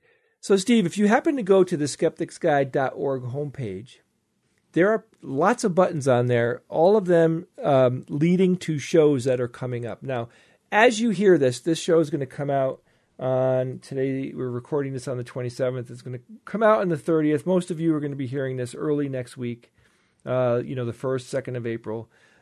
It's not too late to buy tickets. We have tickets left for the extravaganza that's happening in Dallas on the the weekend, uh, you know, Friday the fifth. Then we have the sixth is the extravaganza, and then we have the seventh, which is the two private shows. So there is a noon private show that also has seats available that you can get tickets for, and then we have two shows happening in Chicago in August, and we are going to be doing an extravaganza, and then we will be doing our one thousandth SGU 1,000. episode. Oh my gosh. That is the recording of the 1000th episode. It'll actually come out the following Saturday. Mm-hmm. But that is indeed the 1000th SGU episode. The only person that recorded every single one of those episodes was Steve, of course. Steve has never missed mm-hmm. an episode. I probably missed, I don't know. I don't even know. We have to figure it out. But you yeah. know, we all have missed We've a been- handful. Yeah, I've missed probably one a year on average. But um, it's all going to happen. So if you're interested in seeing the SGU live, you know, please go to our website and check it out. We have the Dallas and then we have Chicago. Just so you guys know, we will all be appearing at CSICon in October. That's going to be in Las Vegas. And we we are even talking about maybe doing yet another live performance, maybe in November, December, January. we early December. We're, December, yeah, I think. We're looking. Boy, We're TBD, right? To be Yeah, announced. it's coming up. We got lots of talking to do, but we're we're still our dance card's pretty full, guys. Yeah, we're, moving. we're we're getting around. So do me a favor, guys. If you're enjoying this show, there's a couple of things that you can do. One is really easy. Just give us a review anywhere. You know, you can go on iTunes, whatever. It just helps people find us. Uh, just you know, be honest and tell let other people know what you think about the show. And another thing you could do, if you really want to help us, you could become a patron. You can go to patreon.com forward slash skeptics guide. Um, we have a wonderful group of patrons. We have an awesome Discord channel. The, the patrons have gotten to know each other, and that's why we started NotACon to give them all a place to go and congregate. Lots of friendships are being made. It's really awesome, and I'm very proud of it. And very, you know, I feel very lucky that we have such a wonderful group of people. If you'd like to join this wonderful group of people, just go to patreon.com forward slash skeptics guide and help support this podcast. Thank you, Jay. Um, all right, we have a couple of emails. The first one's actually a TikTok video that was tagged to us. Have you guys ever heard of Mel's Mystery Hole? What? Ah, Uh, do I want to have heard of that? No, you. Didn't think so. what do you think it is? uh, what? One of these bottomless pits? Yes, kind of. one of these Oh. bottomless pits. all right. One of the many bottomless pits that are not bottomless. Yeah, Yes. it's supposed to be near Ellensburg, Washington. First popularized by the radio show, Evan. Oh, it would be Coast to Coast, Coast- Art Bell. Coast to Coast in 1997. There you go. The guest calling himself Mel Waters, you know, talked about the hole. That's how it became known as Mel's Hole. And it's supposed to be supposed to be a this bottomless sinkhole, you know? Or at least it's extremely, extremely deep. The, the caller claimed that it was at least 80,000 feet deep, which ain't possible, you know, just um, stuff could would not hold itself open to that depth, you know? Dirt would, rocks would just collapse in on itself. Uh, but that was the claim. And this spawned a lot of local modern legends, right? Just just urban legends in the area. Here's the thing. There are sinkholes around the world. That's not that unusual. Right. And and it is common for there to be, you know, urban legends surrounding it. But I don't know that this one even exists because in 2002, a group of 30 investigators, led by one Gerald Osborne, went on an expedition to investigate the hole, and they couldn't even find it. they couldn't find the thing. So I don't know that it, it exists. So the TikTok video in question, which we will link to, is just, it's ridiculous. It's just ridiculous because it's saying like, what scientists found at the bottom of this hole will shock the world. You know, it's like the most shameless sensationalism you can imagine. Oh, and then meanwhile, it's showing in you know it's this is the voiceover. It's showing pictures of these of like twenty different sinkholes. Right. It's like pick one, you know, because because it, doesn't exist. They don't have a picture Right. of actual Mel's holes. They just show different sinkholes.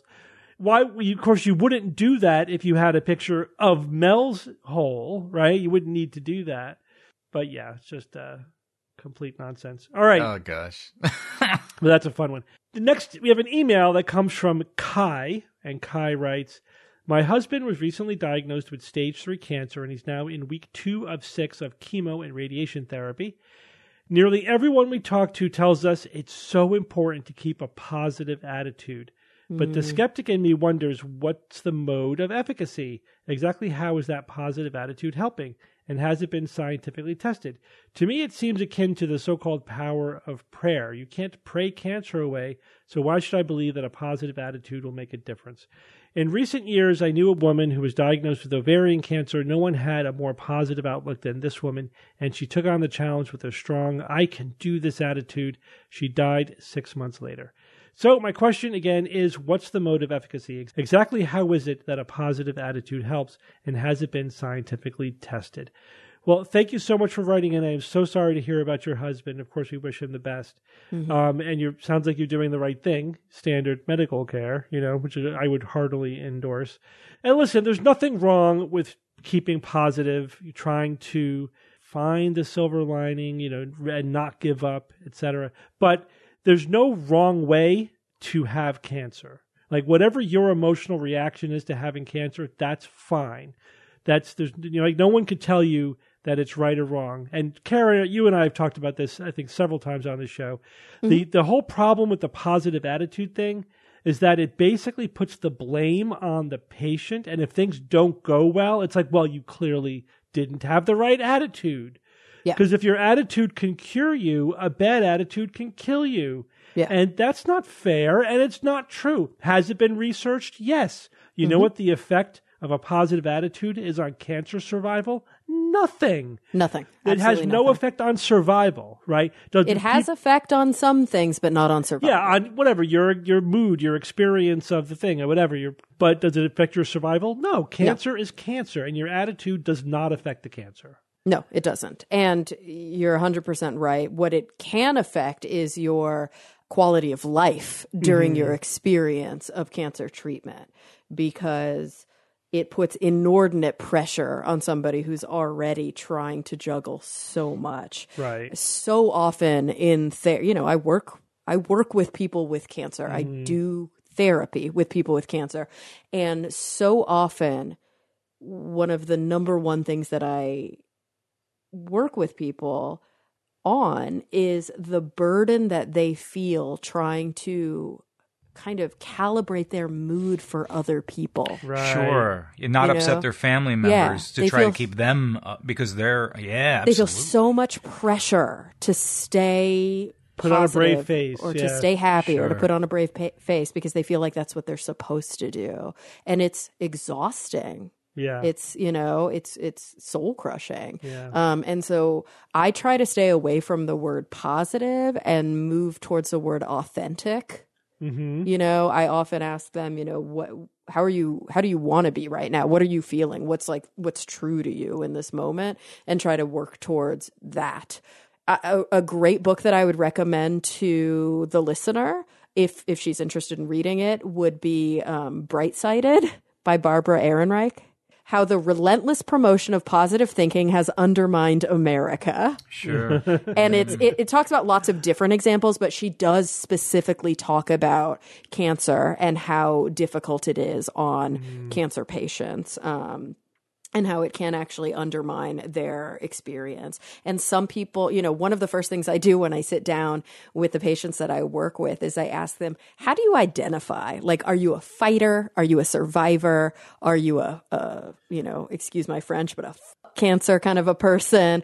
Are hmm. you? And everybody has a different view of their relationship to cancer. Some people don't want to even think of themselves as cancer patients. Mm-hmm. And It's that's not fine their too. identity. It's not their identity. Yeah. For some people, it's their whole life. And, you know, there's no right way to Yeah. be in it. And that's what's really important, I think, more than anything else, Yeah. is to is to be true to true to your own experience. Yeah, yeah. You know, my wife had breast cancer, and she did very, very well, luckily. But mm. she, so we went through that together, and she, you know, one of the things that she experienced was like, as soon as you get the diagnosis, it's like you're on the other side of this wall from mm. everybody else. Like there's you, and then there's everybody else who doesn't have cancer. You know what I mean? It's not mm-hmm. Mm-hmm. staring this in the face. And it is it can be isolating and it just alters your perspective of everything of reality of your life. And it's just it's hard to you can't understand it unless you're there. And You so like can't. if you're somebody who is like the loved one of somebody with cancer don't assume like you know what they're going through don't assume you know what it feels like and certainly don't put any pressure on them to be a certain way or to have a positive attitude it's like if you want to cry cry whatever you want to do it's like you're going Yeah, you want to something. scream, scream. Or Yeah. you want to not feel anything today. You don't have to feel anything. That's fine. today. Yeah. That, but that whole thing of like, you just, you gotta, you gotta keep hope alive. You gotta stay, as if somehow if you stop hoping, your body, like your cells will be like, well, no more hope. Just let the cancer win. Like it's the weirdest Armin- well, mentality. But for people who have a, uh, a predisposition, say, to that attitude, religious uh, or otherwise, I mean, if they may not know any other coping strategy. And if that works for you, that's it that great. The problem is it doesn't your thoughts don't translate to your like white cells. Mm-hmm. Right. And I think Of that's course. the thing that we have to remember. And it, because w- really all you're setting yourself up for is a lot of guilt and shame. yeah. Yeah, and I think the religious version of it's even worse. When you tell people you could pray your cancer away, and then they don't. Well, you mm-hmm. didn't pray hard enough. God doesn't right. love Yeah, you. there I mean, go. Yeah, the the whole didn't pray hard awful. enough. it's just what else you What gonna say? You know, Yeah, it's What does that actually mean? Like that you're not praying long enough? You're not Right. You really didn't do it deep, right. deep Devotion, and mean yeah. it or whatever. It's just silly. But here's the thing, Cara. Tell me what you think about this. My sense is, and I know because I've been there a million times, right? It's like when you're the person who doesn't have the terminal illness or, or the horrible diagnosis, and you're Mm-hmm. facing somebody who does. It's hard to know what to say. The I think Oh, it's 100%. It's very difficult to be in a situation where you can't think of anything genuinely positive to say because it's because just there isn't anything because there can isn't anything positive. So I think most people say that because they're desperate to find Right. something not horribly negative to say. So they say, "Well, be positive." They're just But it's they're just okay to say something like Yeah. this sucks. Yeah, it's okay. to That's say, an I'm- okay to say Just say this sucks. I'm here for you. You know, that's Totally. And I think one of the things that I've found that is really frustrating for a lot of the patients that I've worked with, one of the, the most annoying things, one of the things that they say is the most annoying to hear is when people go, I don't know how you do it. They mm. say that that is by far the most irritating. Wow, yeah. Like, I don't know how you get up every day. And they go, What is the alternative? right. Right, I do right. it because, like, they're like, that's just what you do. There's no alternative, right? There is no alternative. Do you, they're like, because they always go, I don't know. I would just, it's like, it, the alternative is not to roll over and die because let me, let me let you in on a little secret.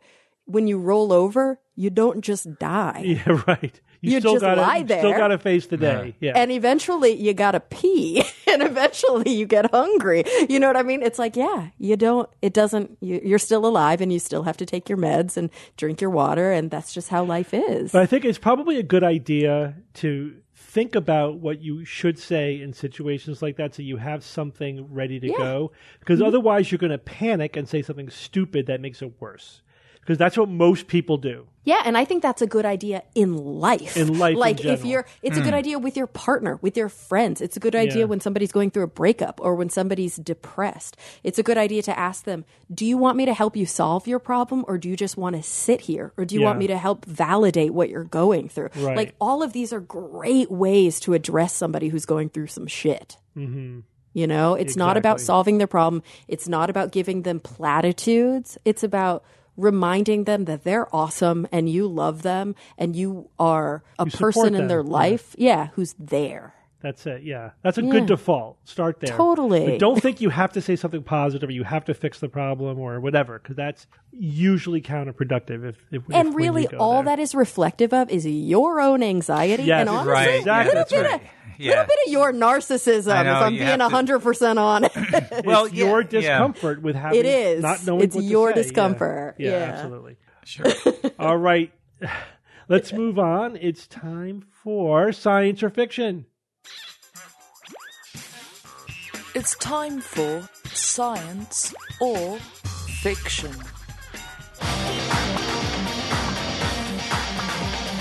Each week, I come up with three science news items or facts, two genuine and one fake, and then I challenge my panel of skeptics to tell me which one is the fake. Cara has a lot to prove this week. She's bouncing back from a double solo failure. No Oh, pressure. no. No pressure. All right. none whatsoever. Whoa. But I should point out a very rare certain uh, True. I think this is why it's so Gosh, it's novel. First- Damn it. time that's ever happened. All right. So these are three news items, but there is a theme to the news items. They are all about power, right? These are about energy and making. Oh, great. There's happened to be a Strong lot of suit. lot of energy news, so I just used I clustered them. Okay, here we go. Mm. Item number one: Researchers have developed an implantable battery that is powered by oxygen in the body and capable of producing continuous electricity at 1.3 volts. Item number two: Toyota reports its latest hydrogen fuel cell car will average 845 miles on a single tank of hydrogen. And item number three, engineers have created flexible perovskite solar cells with a power conversion efficiency of 25% and maintaining 90% of this efficiency after 10,000 10,000 bending cycles. Ooh, I heard a little groan from Evan there. I think Evan I wants think it was, to go I think it was first. Cara. Cara, your voice has dropped a few octaves. this third one, uh, the flexible uh, per- perovskite solar cells. I mean, can't you express this in like ways? I mean, okay, for example, maintaining 90% of this efficiency after 10,000 bending cycles. I mean, can I have that in like calendar or something? Like years or something? I mean, what the, what's a bending cycle? Well, What? that's an, obviously an engineering term. They, they, I'm assuming Yes. they had some kind of standardized bending of the material, okay. and then they test. They did that ten thousand times. Probably had a machine do it, bending the material. and then they tested it again, and it worked. It, it had ninety percent of its original efficiency uh, because it's supposed to be flexible, right? so if it's not, right. if it's if it breaks down, then it's not flexible, right? Gee whiz. Um, okay, bending cycles, fine. All right, power conversion efficiency of 25%, which is what? See, I'm relying on information I have in my head and I have no idea if it's correct or current. Are we at like 18, 20%, 22%? About- so, it's- About for silicon Okay. You know, uh, solar cells. okay, all right. So, so I'm, commercial. Thank you. I appreciate you giving me that at least. So okay, so higher efficiency plus this, uh, you know, maintaining most of its uh, integrity even after ten thousand bending cycles. That's uh, that's impressive. Now these these tend to, I don't know. we right, don't we overstate the whole power thing uh, when it comes to efficiency increases and these kinds of things. So that one has markers of it being fiction. I'll say that. I have no idea. I'll go backwards. Then Toyota reporting its latest hydrogen fuel cell car will average 845 miles on a single tank of hydrogen. I read something not too recently, but kind of recently. Was it Toyota? Uh, And was it about this specifically? But I don't remember the 845 miles on a single tank of hydrogen, but I knew that they were doing something with the hydrogen fuel cell car, or was it Honda? I think that one's science. And then the first one, oh, an implantable battery powered by oxygen in the body. Uh, oxygen's delivered through the blood all over the body, so it's blood based, capable of producing continuous electricity at 1.3 volts. Continuous, well, maybe that's the trick there. Is that this continuous electricity? How, how does it how does it maintain that? Powered by oxygen in the body, but producing continuous electricity at one three. Yeah, all right. I'll say that that one is the fiction. I, and I think the part that's wrong here is that continuous electricity part. Okay, Cara, No. Oh, you went last last week. Where's Bob? yeah. It's almost as if I designed this for Bob not being here. I know. I think yeah, right. I do think the hydrogen fuel cell one is science. 845 miles, though it seems bananas, is reasonable given that we're, you know, we're pushing three, 400 miles on electric charges right now. So, you know, double that for hydrogen fuel cell. That's okay because hydrogen fuel cell is significantly more efficient. We know that. We're just still struggling with transport, storage, all that kind of stuff. So yeah, I think that that you know we've always known that's a, I, I do think a more efficient source. Um, so go Toyota, flexible perovskite. I don't know. Okay, power conversion efficiency of twenty five percent and maintaining ninety percent of it after ten thousand bending cycles. I feel like this is high. I don't know though, but this feels high to me, like very high maintaining 90% efficiency after 10,000 cycles. yeah. That feels very high to me. 1.3 volts, though, also feels high. Is that like supposed to be millivolts? Milli vanilli volts. So, this, okay. Okay, so implantable battery, that works for me. Implantable battery, I'm not mad at. Powered by oxygen, I'm not mad at because, like you said, it, so long as it's someplace that's bathed in blood, which is like the whole body, it's going to be able to get that fuel, that power that it needs, and continuous electricity. I don't think that voltage is making me too mad. So I kind of hmm. think that one is going to be science. I think the solar cells are too high. So I'm sorry, Evan. No, that's okay. I I was Yeah. close, Cara. Yeah, it's to- true because you were still with questioning that. So I think I think I'm going to say that the the solar cells are the fiction. Okay, and Jay. Will. Will. Will. Will. yeah, I mean, to cut to the chase, I uh, I just don't. I agree with Cara. I don't see how. Um, Thank God. maintain- maintaining 90 I'm the Lone Ranger this week. I don't think anything would maintain ninety percent after that many cycles. I mean, it just sounds way too good. You know, it's just it's just too good of a scenario. I wonder if I it's don't- I mean, even 25 percent at the beginning. I, I hope it's I hope it's legit, but I, I think that one is probably it. I mean, the oxygen powered battery, like okay, I mean, sure. I mean, I don't think if somebody got there with this, uh, it's probably like in super early, you know, stages. Not like they're doing it. And then Toyota, um, I see no reason why anybody would have a problem getting 845 miles out of a, of a hydrogen based uh, Wow. car. If that one turns out to be the fiction, Steve really pulled a really? fast one on us. That's for Yeah, sure. I'm 100% with Cara. I'm going with that that Thank you. All right, so you guys are divided between the first and third one. So we'll start with the second one. Toyota reports its latest hydrogen fuel cell car will average 845 miles on a single tank of hydrogen. You guys all think that one is science, and that one is the fiction. you got us. You got us good, Steve. that is the What? We were so convinced that that oh that's That one's right, sure. So now, what is true, and, and I didn't know if I was going to get somebody on being familiar with this, but it, Toyota was able a couple years ago to get um, one of their cars, their hydrogen fuel cell cars, to go 845 miles on a single tank of hydrogen, but it was completely fake because they like overinflated the tires. They turned off all the electrical stuff in the car, and they drove very slowly the whole way.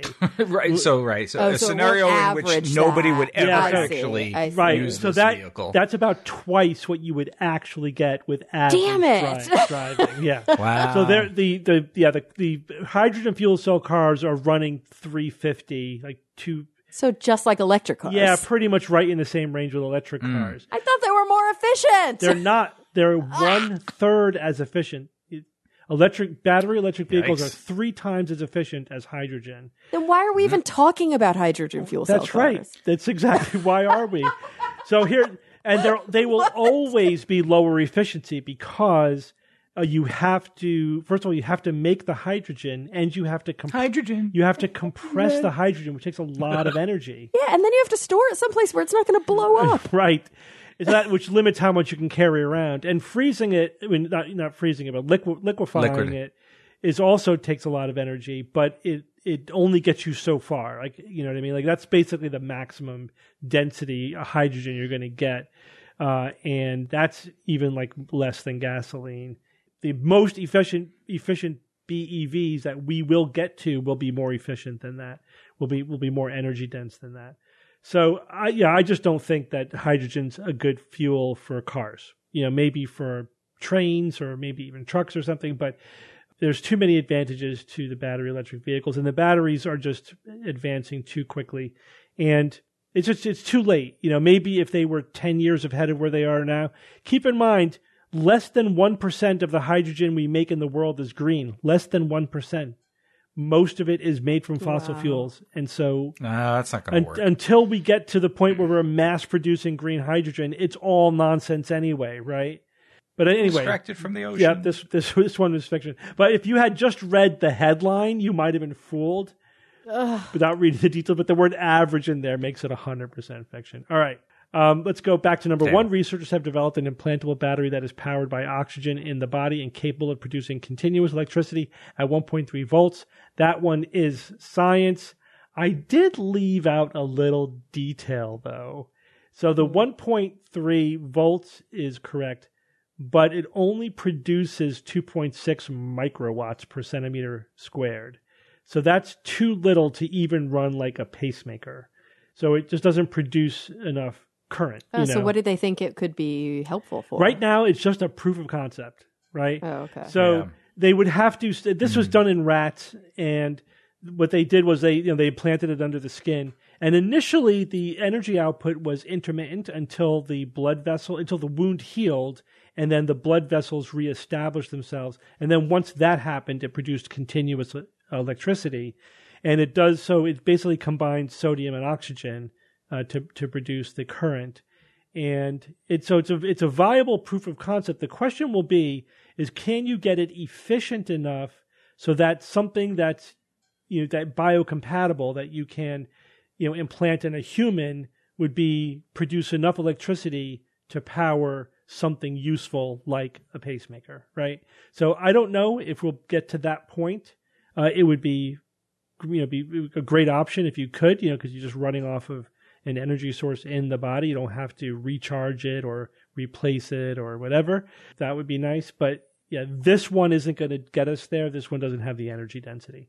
All right, and that also means that engineers have created flexible perovskite solar cells with a power conversion efficiency of 25% and maintaining 90% of this efficiency after 10,000 bending cycles is science. And this is a nice little breakthrough. This is a good incremental advance. That 25% is about where the best silicon solar cells are right now, or the rigid, you know, crystalline solar cells are. The average one that you would get in commercially would be 20, 22%. So it's actually a little bit above that. I don't know what the upper limit uh, is. The perovskite are supposed to have a higher ceiling than silicon. And so the, the one of the big problems, of course, with perovskite is getting it to be stable. And so this seems like it's uh, this formulation is this flexible formulation is is very very stable. Um, again, I don't know if we're quite to a commercial product yet, but we're getting very very close. And you know, in the next certainly five years or so, we should be seeing not just these incremental improvements in the silicon solar cells, but a nice shift to a new technology, either organic or perovskite or some combination, and and with flexible solar cells that can really uh, you know, accomplish a couple of things. One is just make it easier to install it in a lot of places, and two, to bring the cost per kilowatt hour down. It's already uh, very, very cheap, but we want to make it cheaper than fossil fuel, like cheaper than any other uh, than any other option.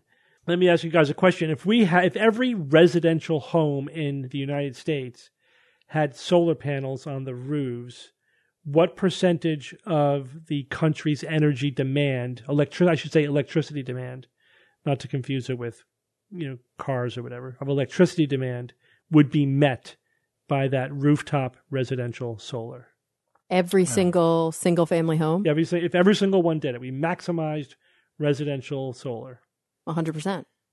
Oh, no, 100% of the single family. Half yeah. would have Of, it. it'll be 100% of residential of right. residential would be met. Yeah. of homes, I mean, not apartment buildings, not not business, Oh, obviously, I not see. Industry. yeah, yeah. I think we'd hit almost 100%. No, it'd be it'd be about 30, 35 percent. right. Yeah, because, uh, 35%, that's what I said.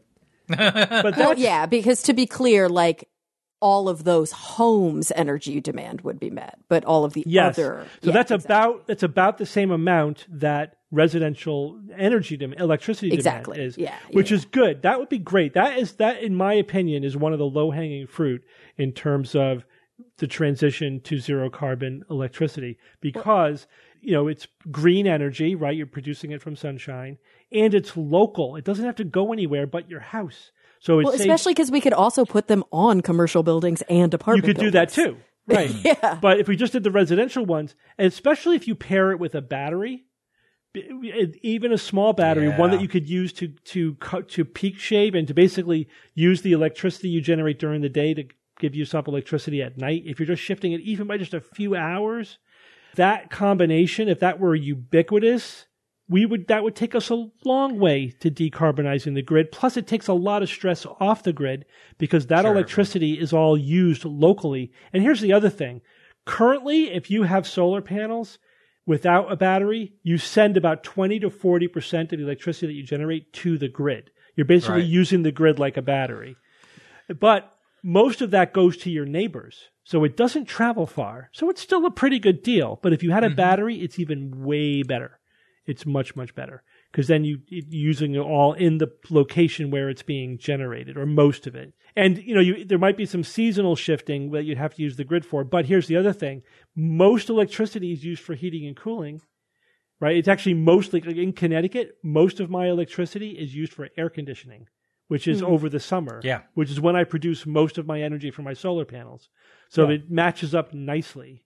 It that is, I think, the lowest hanging fruit of our low carbon energy production is residential solar with battery backup. And we that's where one place where we need yes subsidize the hell out of it. That should happen as fast as possible. And if that gets us even just 30% of our energy, then you get another 10, 20% from wind, you know, grid wind power.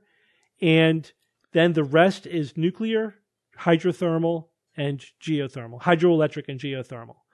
And that's uh, one plausible path. And if we could get even more, like some grid solar going or whatever, that's great too. Or, but whatever. But that's a kind of, I think, what we're going to have to do, hmm right? And that's going to be the sh- the quickest, shortest path to get there. Yeah, and making use of available current Yeah, technology. that's all with And current that- technology. It's only and going to get better. Right, improvements, It's right. It doesn't going, even account yeah, for the but it is improvements that are only gonna come. to get better. The solar and battery options are so steadily improving. It's only going to get better. You know, it's just silly that some people have decided to resist. to resist that mm-hmm. really good option.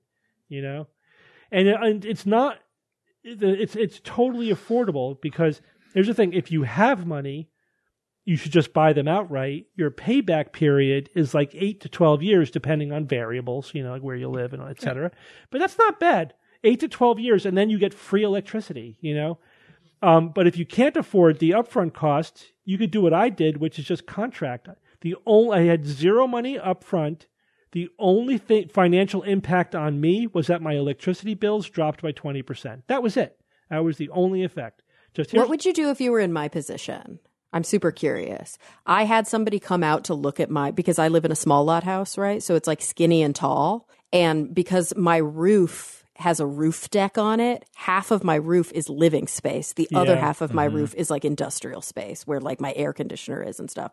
And they looked and they looked at my AC bills and things like that. Uh, My house is very, very efficient. So my bills for, you know, I live alone. I pay about $250 every two months for my energy bills. Yeah, it's not a They're lot. quite low. They basically said it is not worth it for us to put solar panels on your roof. It's not worth it for them to do it, right? No, That- for anybody to do it. Well- they were like, for you, it is not worth it. Like Your it return would- on investment Your won't pay, ROI right? is not good enough. You need to wait until we have higher efficiency panels. Yeah, absolutely. Because they, you know, if you wait a couple years, they're going to be even better. They'll be cheaper. Yeah, They'll be more. they were basically like, you're going to pay for panels that will not offset your bills enough. Mhm. Um, because the amount of space that we need to put in these panels, like they're not efficient enough. yeah. Okay. Yeah, I, but I would get a second opinion because Okay, I, yeah. uh, you know, it, it because I don't know if they just don't think if they just think it's not really worth it for them, so they're saying it's Mm-hmm. not worth it for you. But especially if you can afford to buy them yourself, what, however much you know electricity you make, even if it's only twenty percent of your bill, it's twenty percent of your Right. It's still offsetting something. It's still so that's offsetting was something, curious and it still yeah. should still be the payback period is still the same. You know, so I don't know. I don't know about that. And you you get a lot of sunshine, right? So you're like we you're, do get a lot of sunshine. You're all I'll give you sunshine and air conditioning, so that's like a perfect scenario Yeah, for solar yeah. panels. Uh, so I don't know. I'd get a second opinion on Yeah. that. Okay. But yeah, but it, you know, like I generate hundred percent of my electricity on my roof, and I live in Connecticut. Yeah. It's just all He's not Wish I about. had more Aggravating. roof. I know I have a lot of roof, roof. and I have Yeah. no trees shading my roof, and the and, Right. Yeah, I do as well. Yeah, Yeah. It was a no-brainer for me. right, Yeah. Right. right. Okay, Evan, give us a quote. This week's quote was suggested by a listener, Andrew from Toronto. Thank you, Andrew. The shameful thing is not ignorance. On the contrary, that is the natural thing. The really shameful thing is not to want to know, to resist finding out when the occasion offers. It is never the ignorant who offers that resistance, but the one who thinks they know. That is the shameful thing, to think you know. He who thinks he knows something, but is in fact ignorant of it, closes the door of his mind through which authentic truth could enter. And that is a quote from Jose Ortega y Gasset, who was a Spanish philosopher born in 1883, died 1955. Uh, worked in the first half of the 20th century uh, as a philosopher. It's been char- he's been characterized as having a philosophy of life that can that compromised a long hidden beginning in a pragmatist metaphysics inspired by William James. Yeah, some other uh, things here, proto existentialism and some other things I don't know about in the world of philosophy, mm-hmm. realist historicism, but uh, it sounds like a very interesting person yeah. who, whom I've not been introduced to before this quote. So I appreciate that, Andrew. Thank you for introducing me um, to Gasset. Yeah, I like the last line. He who thinks he knows something but is in fact ignorant of it closes the door of his mind through which authentic truth could enter.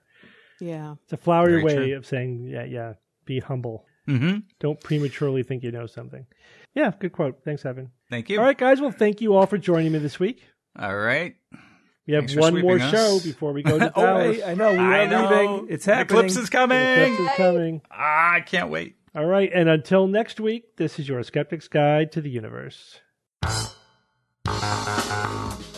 Skeptic's Guide to the Universe is produced by SGU Productions, dedicated to promoting science and critical thinking. For more information, visit us at theskepticsguide.org. Send your questions to info at theskepticsguide.org. And if you would like to support the show and all the work that we do, go to patreon.com slash skepticsguide and consider becoming a patron and becoming part of the SGU community. Our listeners and supporters are what make SGU possible.